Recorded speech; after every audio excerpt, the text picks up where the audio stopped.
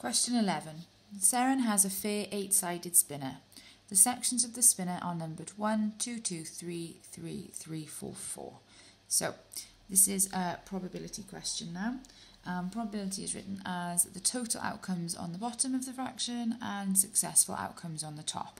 So in this case, how many uh, total possibilities do we have? 1, 2, 3, 4, 5, 6, 7, 8, says in the question.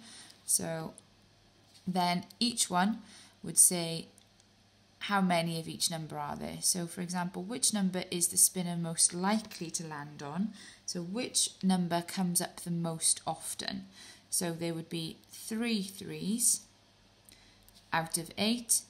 The fours would be two out of eight. The ones would be one out of eight. And the twos would be two out of eight.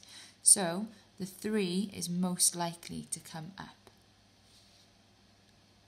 and that would be one mark.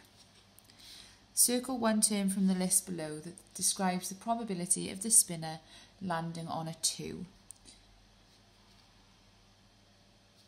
So the probability that it lands on a 2, there are two 2's out of a total 8 numbers.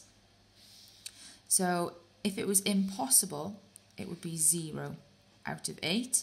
It would never happen. If it was certain, it would be 8 out of 8. Every number would be a 2.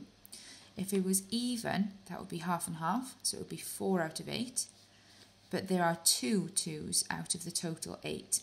So it's definitely not even, it's not impossible.